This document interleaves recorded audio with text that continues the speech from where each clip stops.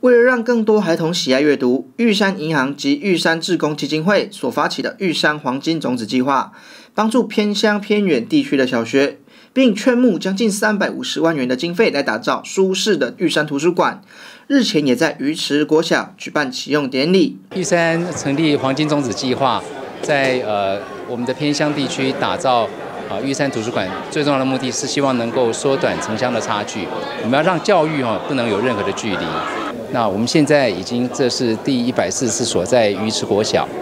呃，这个一百这一百四十四所里面，我们觉得鱼池国小它啊相当的呃有心哈，在推动孩子们的一个教育啊，特别是在阅读的教育上面。那玉山非常乐意能够在鱼池国小。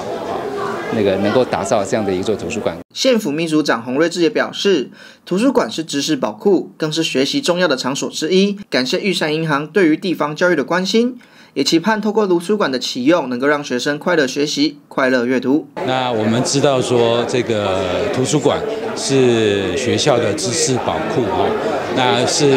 诶学生还有老师。诶，学习的一个很重要的一个场所哈。那我们非常感谢这个玉山志工基金会哈，确募了三百五十万的经费来协助我们鱼池国小哈，诶，整修呃整个图书馆。那有一个美轮美奂的图书馆，更能够吸引我们的学生呢来到图图书馆啊，来快乐学习、快乐的阅读。谢应元、谢明模代表地方感谢玉山银行对于地方教育的关心，也期盼借由玉山银行的善举，能够让学生有良好的阅读环境。我们玉山银行哈，玉山银行来个我们鱼池国小啊，将我们旧有的图书馆搞完修缮，能够提供一些比较有阅读价值的书籍哈，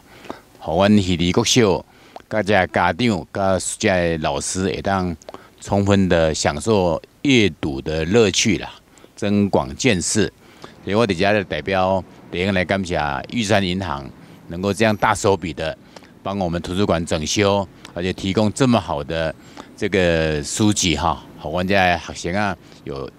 增加阅读的这个机会。书中自有黄金屋，阅读是相当重要的。谢议员感谢主办单位的用心，也呼吁学生们要好好爱护图书馆，并多加阅读，才能增广见闻。记者邱平义于是采访报道。